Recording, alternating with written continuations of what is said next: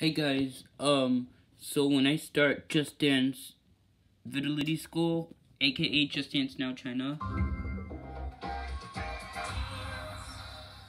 I go on my phone, go read the QR code, and then, like, just wait for it.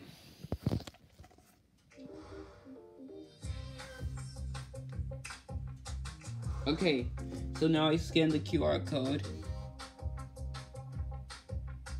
Now look what happens. I press download.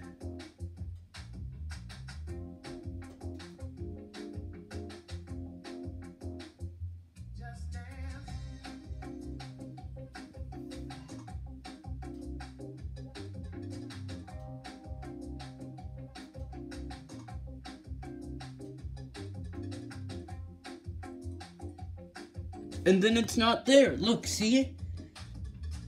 Look, it says no, nothing, like only Chinese letters.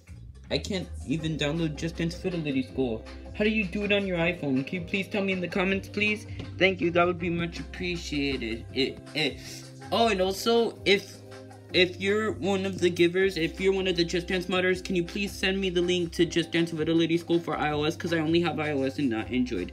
Thank you, that would be much appreciated. Goodbye.